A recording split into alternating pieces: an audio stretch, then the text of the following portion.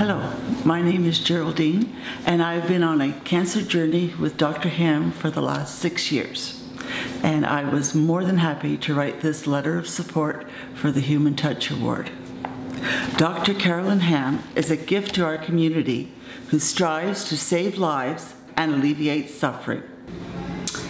So, an oncologist is uh, a different kind of job. We're really focused on patient care and um, helping people through the system, the cancer system. And that's kind of how I see my job. I'm a guide. I know the cancer system and I know I know their disease and I know the best way to navigate the system. I always felt that I had won the lottery when Dr. Hamm accepted me as her patient. I nominated Dr. Hamm to this Human Touch Award I strongly believe she touched the lives of hundreds of patients with her vision. So Dr. Hamm is an advocate. If she believes something is helpful for her patients, she will do anything to uh, get them that care, uh, that treatment or that service. No question, I wouldn't be writing this if it weren't for her efforts and perseverance to give me every chance to stay alive. I was the first Canadian transplant patient at the Detroit Karmanos Cancer Center.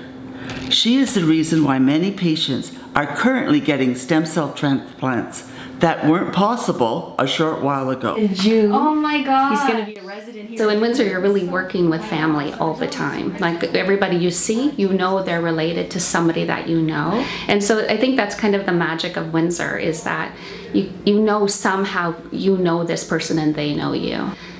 I mean, I think that, that that is what the human touch is about, is, is, is making sure you're really paying attention to people. If you ask for help related to patient care, it doesn't matter what she's doing, she stops what she's doing and helps you out. If you go back again in 15 minutes, she will do the same. If you go back again, she will do the same. Basically, you'll get tired, she won't.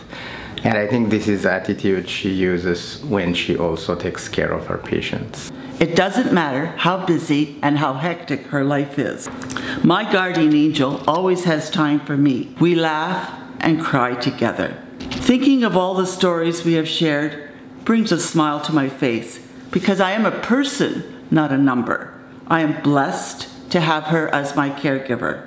Dr. Caroline Hamm is truly a humanitarian with angel wings.